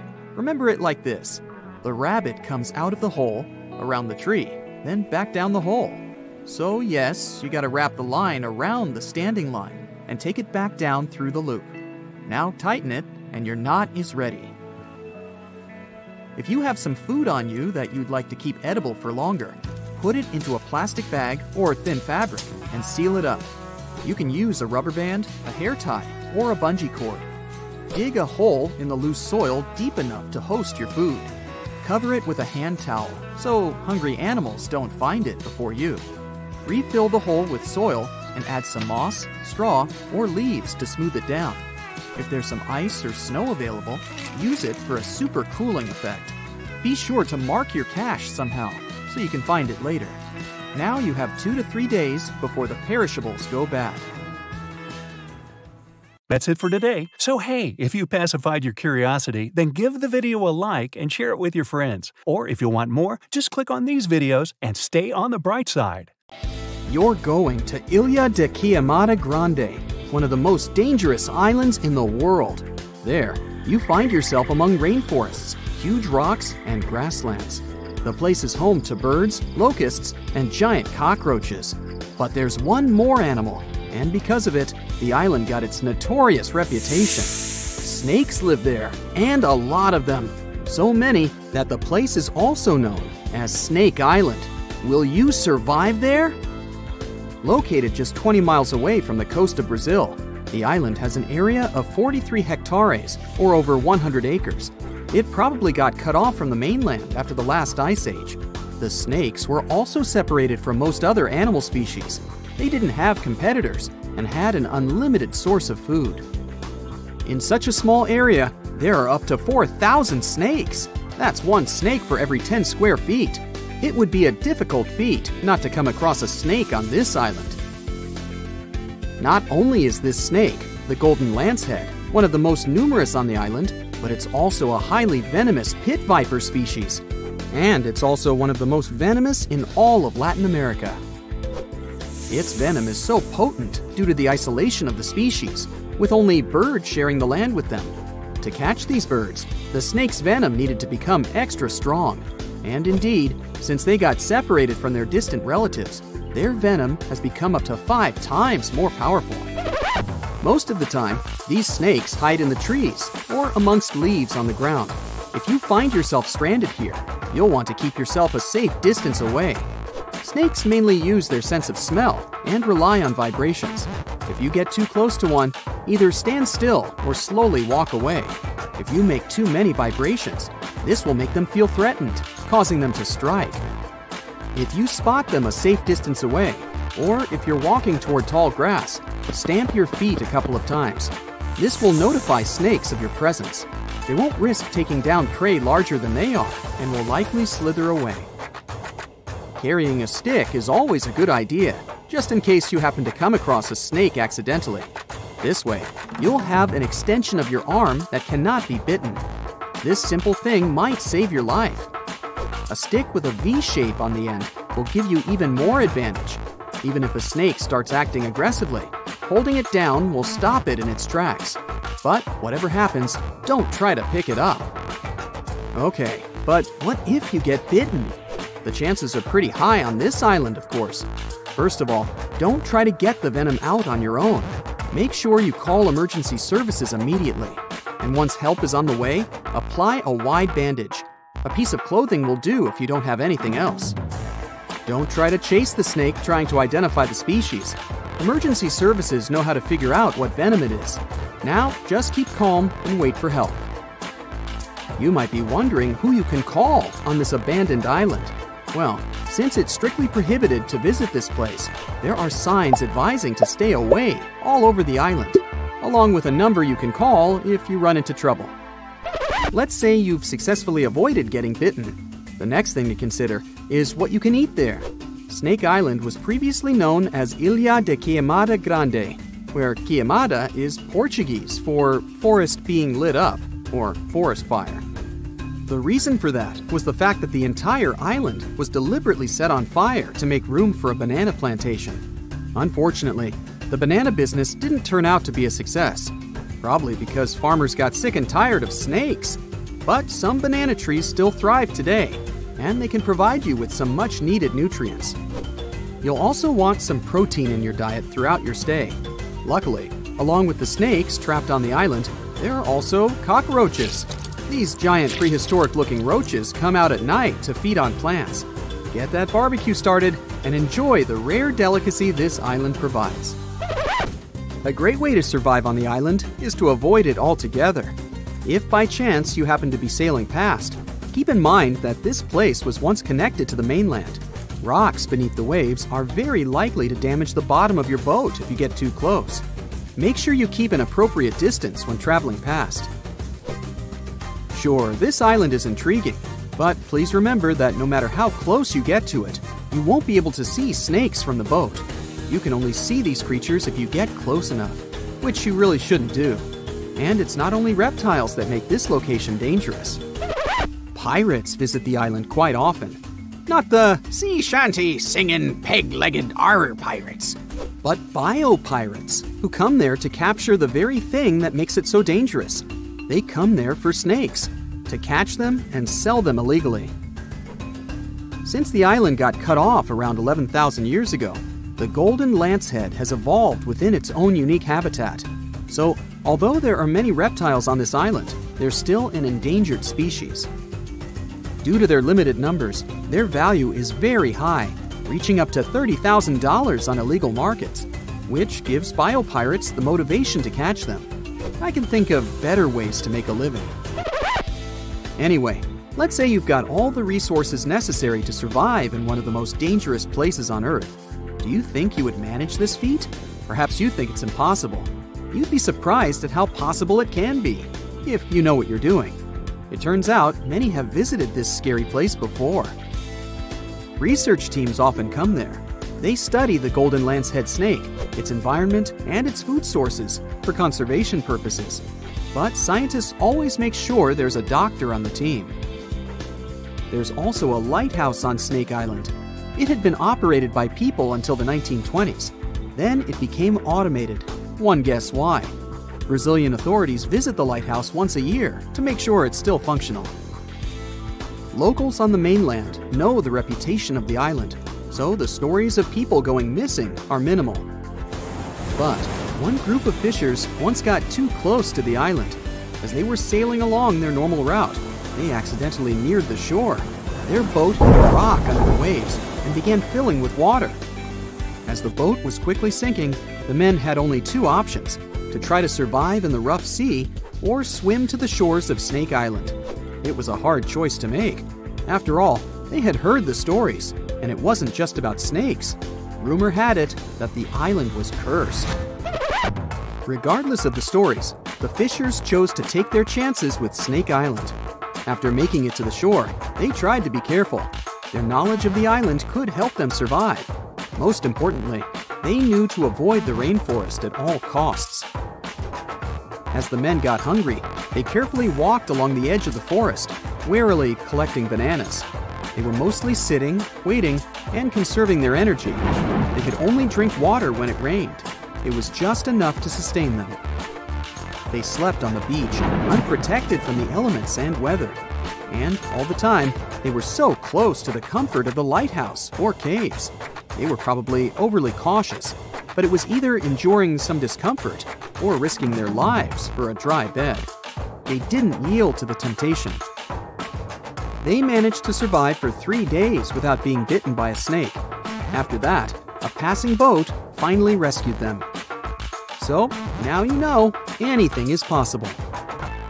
That's it for today. So hey, if you pacified your curiosity, then give the video a like and share it with your friends. Or if you want more, just click on these videos and stay on the bright side. Hmm, on the outside, the surface of this lake looks like the aftermath of a disaster. Empty tree trunks spike out of the turquoise waters. The lake is surrounded by mountains, making it a quiet but unsettling place. But those who dare to swim under these dangerous waters will soon discover a whole new world. This isn't the beginning of a fairy tale, it's the actual story of Kaindy Lake, located in Saty, Kazakhstan. Back in 1911, an earthquake caused a major landslide in this location. The valley created eventually filled up with rainwater, practically submerging the forest. The trees that are located above the waters might look very sad, but beneath the surface, they remind you of an underwater forest. Since the waters are crystal clear most of the time, you can still see this fascinating view even from its shores. The ice cold water makes this lake so tricky and, at times, even dangerous. And don't forget about all the algae, plants, and submerged trees that can rapidly become risky obstacles. Hey, I enjoy a steamy hot bath, but this boiling lake I'll tell you about now is really the stuff of scary dreams. It's located on the Caribbean island of Dominica, and its waters have temperatures between 180 and 197 degrees Fahrenheit. And that's just around the edges, since no one has ever dared to reach the middle of the lake to measure its core temperature. It's true that the heat can go down from time to time, but you never know when these waters may start to boil again. The place is also dangerous because of the gases it releases, such as carbon dioxide. It doesn't smell nice, trust me, but that's mostly because of the sulfur stuck in the steamy air. This seemingly calm lake also carries a dangerous surprise. Lake Monoun, located in West Province, Cameroon, it's one of the few erupting lakes on the whole planet, similar to a volcano, and most of the time it does so without any warnings. Its last eruption dates back to 1894 when it caused serious damage. The chemical mechanism of such lakes works like a can of soda that you shake before opening. There are risky gases on the bottom of the waters, so any disturbance on the surface may trigger their eruption. Natron Lake in Tanzania may be beautiful to watch because of its unique reddish coloring, but it's definitely not a place you'd want to take a swim in.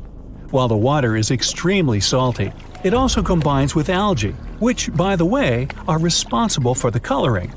And that's not even the riskiest thing about it. Natron Lake has pH levels so high that they become corrosive. If you dampen a piece of dyed material in this lake, it'll soon be stripped of its color.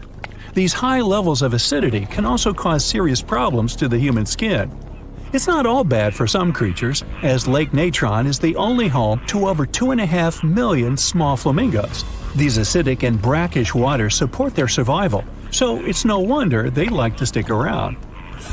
Lake Nicaragua's danger factor has less to do with chemistry and more to do with its inhabitants. It's located on the border of Costa Rica and Nicaragua and is the largest freshwater lake in Central America. When you first look at it, you won't think it can be dangerous, but because of the bull sharks inhabiting it, I wouldn't recommend taking a swim.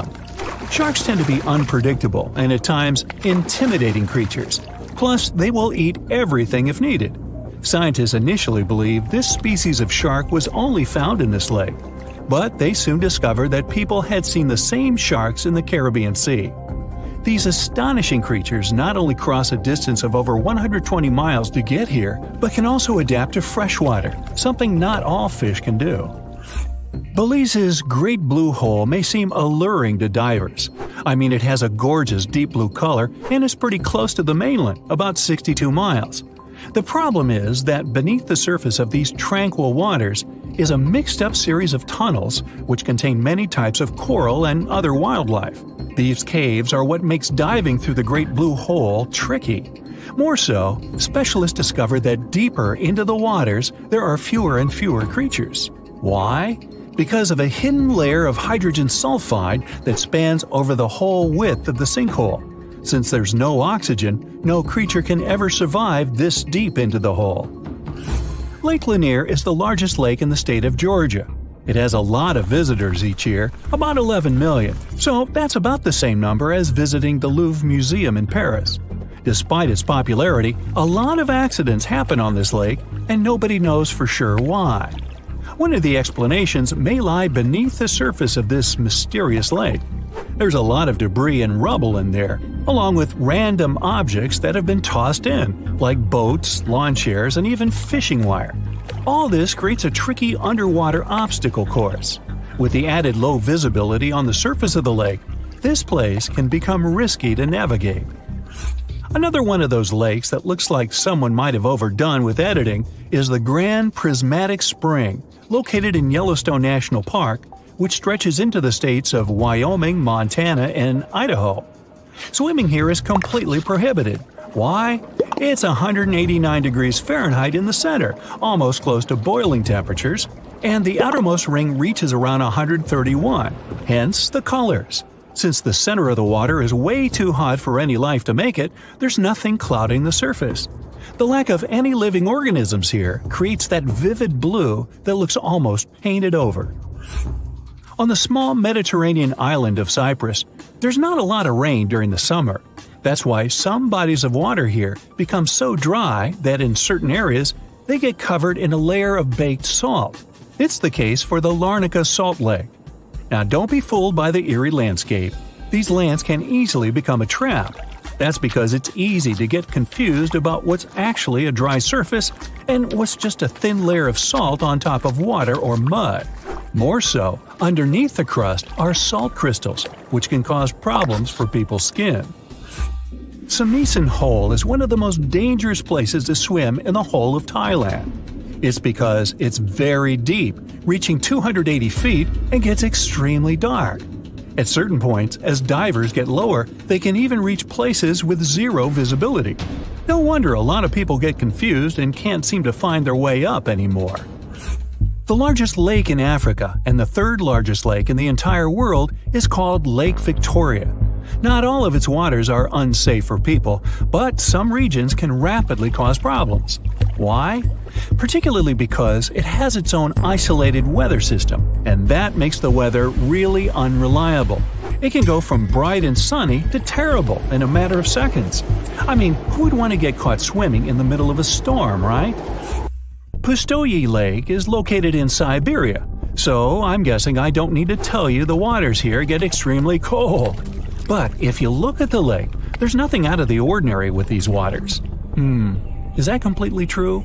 Eh, most likely not. And people tend to avoid swimming here at all costs, even if they can resist the freezing cold waters. So, what makes Lake Pustovi so mysterious and dangerous? Well, nothing seems to want to live here, and scientists have yet to discover why. They tried to fill the lake with many types of fish and various plant species to see if they could survive in the waters, but the results were hmm, disappointing. Since we don't know exactly what makes it so difficult to survive here, don't go running for your swimming trunks just yet. It's best if you stay away. Hey, you don't have to tell me twice. That's it for today. So hey, if you pacified your curiosity, then give the video a like and share it with your friends. Or if you want more, just click on these videos and stay on the bright side. That's it for today. So hey, if you pacified your curiosity, then give the video a like and share it with your friends. Or if you want more, just click on these videos and stay on the bright side. Can you swim? Good because you're going on a journey to the deepest point of the Pacific Ocean. Now, put on your flippers. The very bottom of the Mariana Trench is awaiting. Now, get in the water. Really, come on. All right. One foot underwater. That's the depth you can swim with no special gear like a mask. Hey, look, must be some tourists. Or whales. 10 feet underwater. That's a little deeper than the public pools and beaches around the United States. You can see colorful fish and even phytoplankton that feed on the sun's rays. 26 feet down. This is the depth at which the foundations of the floating city of Venice in Italy stand. Builders laid columns at that depth on which they later built houses and streets. 30 feet underwater. You start to feel a lot of pressure. When you're on the surface, you're under atmospheric pressure, 15 pounds per square inch. But here, at 30 feet, that pressure is doubled. All the air pockets in your body, like your lungs or ears, begin to compress from this pressure, giving you discomfort. But no worries, your organs are soft and elastic, so you can keep diving. 40 feet underwater. Oops, you're running out of air. An average person can hold their breath for 30 to 90 seconds. The current record is an incredible 24 minutes and 37 seconds. Gasp.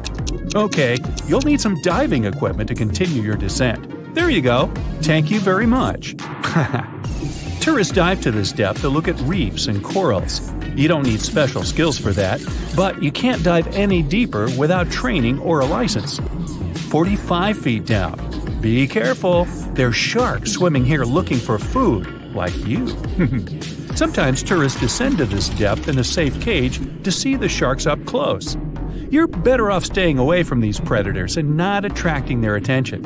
So make sure you're not wearing any bright and shiny jewelry. Sharks love that kind of thing. 62 feet underwater. You could see the Aquarius Reef Base Lab in Florida at this depth, if you were in Florida. It's really an entire building with rooms for exploring the seafloor, accessible through a hatch. 105 feet down, you see a strange bell hanging from a chain. People used to use these things for deep diving about 400 years ago.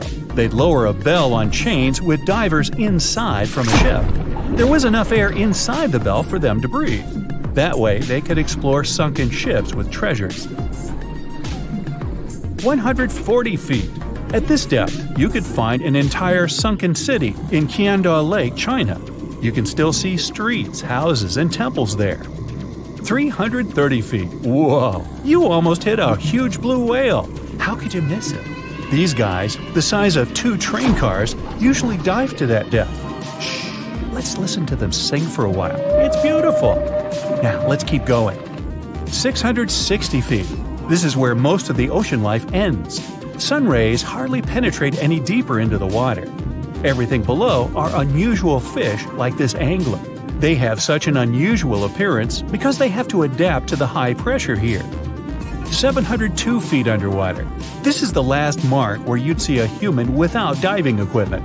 This man holds the title of the deepest man on Earth, and he's the only one who has managed to get to this depth. The water pressure on his body here was 20 times greater than that on the surface. 985 feet. Ooh, what was that sound? Whoa, that's a submarine. That's the maximum depth they can dive to. Some of them can reach speeds of 26 miles per hour. Fun fact an ostrich can run twice as fast, but she can't swim. 1,090 feet. Say bye to this scuba diver. You won't see them any deeper than this. The world record was set in the Red Sea. It only took the diver 12 minutes to reach this depth, but it took him a whole 15 hours to return to the surface to avoid decompression sickness. So now you get an atmospheric deep diving suit. It's completely sealed, and you won't feel the insane water pressure on your body in it. 1,454 feet. If you stuck the Empire State Building in the water, its tip would be here, and all the carpet inside of it would be wet. 2,300 feet down. The water pressure here is 70 times greater than on the surface. The flexible plastic parts of your suit can't withstand that kind of pressure. So, here's some urgent delivery. It's an ultra deep submersible. Now you can continue your dive all the way down. 2,717 feet. Here you'd see the tip of the tallest building on Earth, the Burj Khalifa. Alright, who's sinking all the tall buildings around here? 5,387 feet. This is the depth of one of the oldest and deepest lakes in the world, Lake Baikal. Its area is slightly larger than the entire country of Belgium. 8,040 feet. That's the record depth the Perdido oil platform reaches in the Gulf of Mexico, and its above water part with three decks is almost as high as the Eiffel Tower. 11,962 feet. This is the average depth of the Atlantic Ocean. You can see a huge tube as wide as a giraffe's neck, and it just seems to be endless. True, this cable connected Europe and North America and used to serve for telegraph communications. 12,303 feet underwater. Suddenly, in the darkness, you see the outline of a ship. No way! That's the Titanic itself. The intense water pressure would crush a person at this depth, so you can only dive down to the Titanic in a submarine. 13,123 feet. Whoa! Here would be the end of the deepest mine in the world, Mponeng Gold Mine in Africa. But you still have deeper places to go. Let's speed up. 20,000 feet. Here you can see the deepest debris of an old ship. The USS Johnston sank more than 70 years ago. You can still clearly see the number 557 on its bow. 26,200 feet.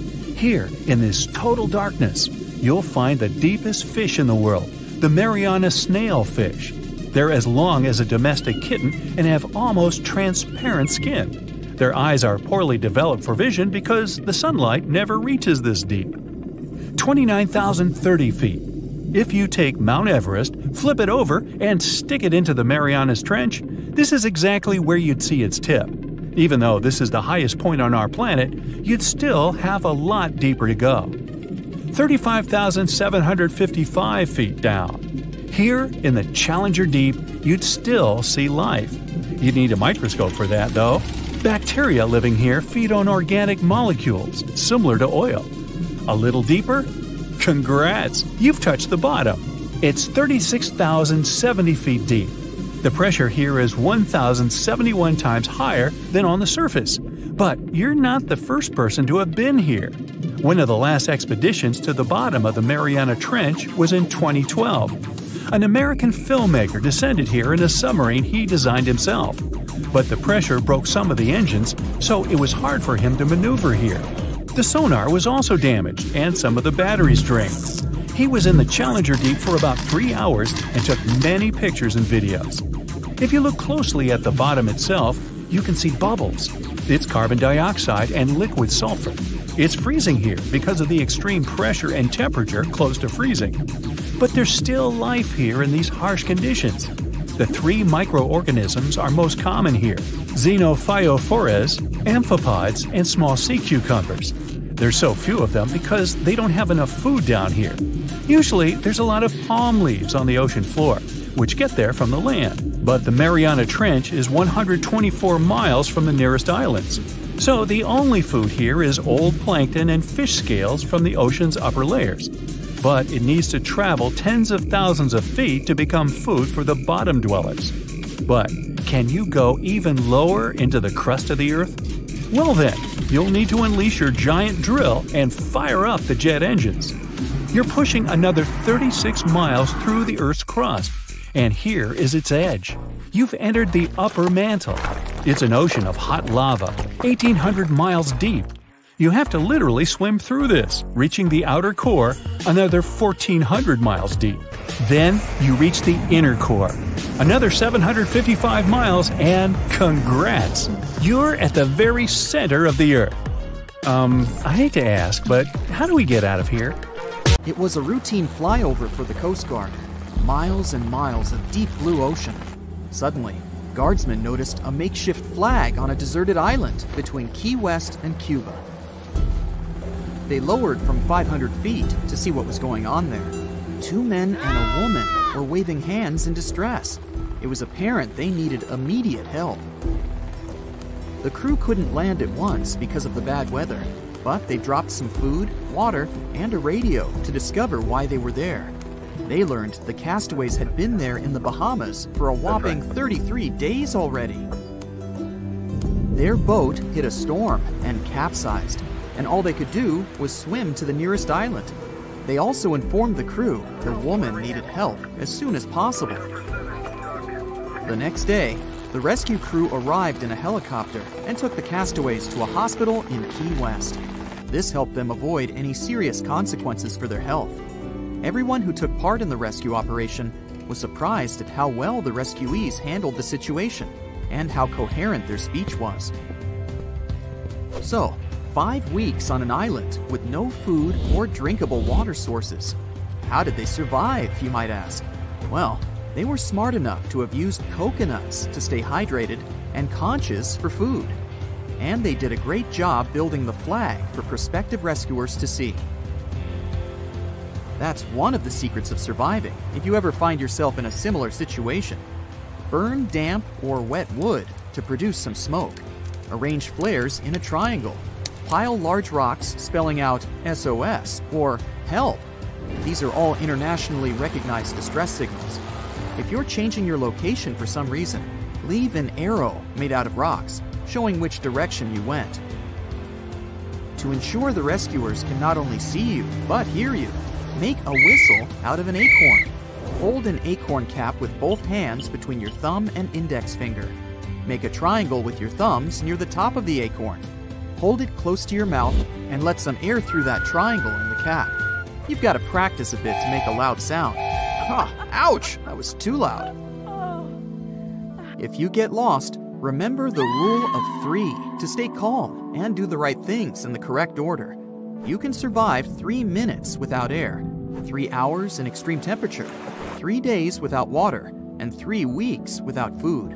So, start with building a shelter, then get water, and only then take care of the food. If you're in better luck than the Bahamas castaways and have some matches with you, make them waterproof. Cover them with a thin layer of transparent nail polish and let them dry well.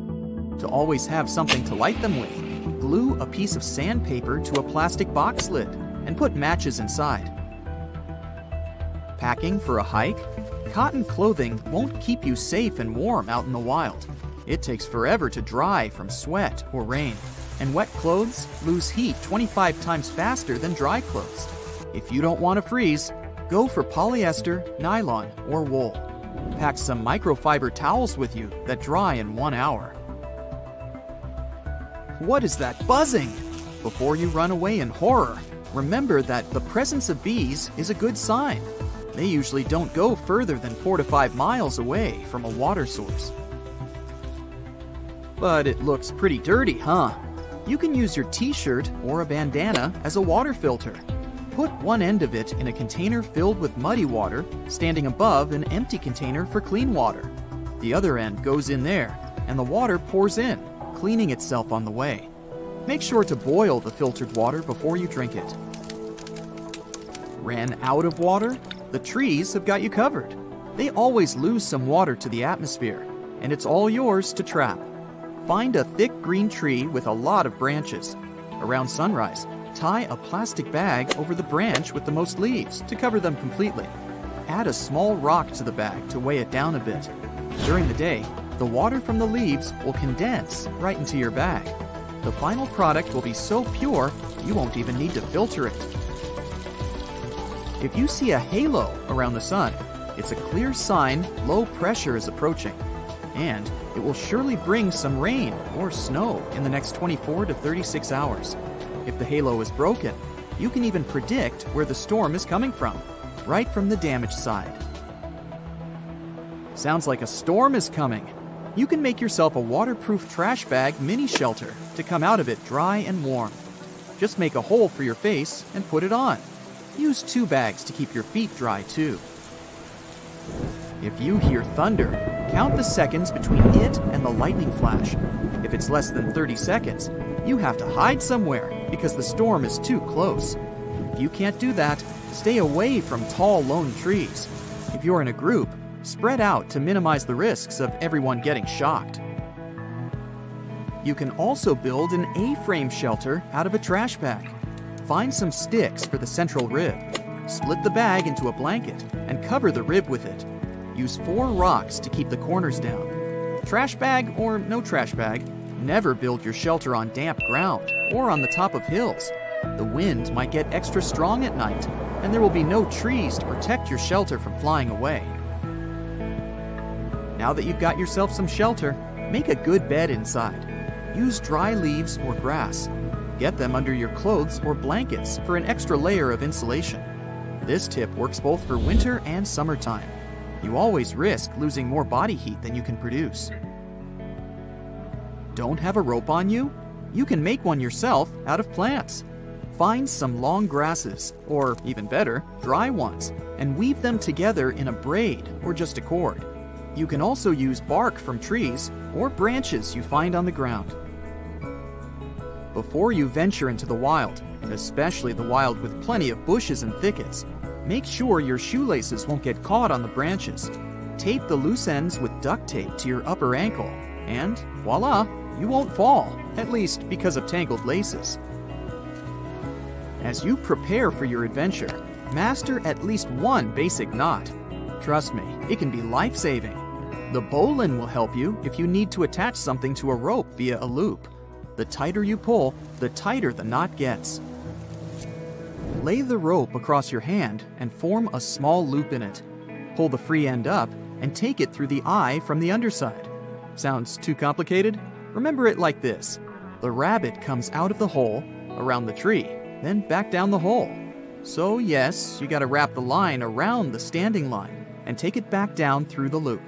Now tighten it, and your knot is ready. If you have some food on you that you'd like to keep edible for longer, put it into a plastic bag or thin fabric and seal it up. You can use a rubber band, a hair tie, or a bungee cord. Dig a hole in the loose soil deep enough to host your food. Cover it with a hand towel so hungry animals don't find it before you. Refill the hole with soil and add some moss, straw, or leaves to smooth it down. If there's some ice or snow available, use it for a super cooling effect. Be sure to mark your cache somehow so you can find it later. Now you have two to three days before the perishables go bad. That's it for today. So hey, if you pacified your curiosity, then give the video a like and share it with your friends. Or if you want more, just click on these videos and stay on the bright side. You can turn ordinary matches into waterproof ones. Apply a thin coat of nail polish to the matches and let it dry. Once they're ready, they'll stay dry enough to start a fire even if you drop the matches in the water.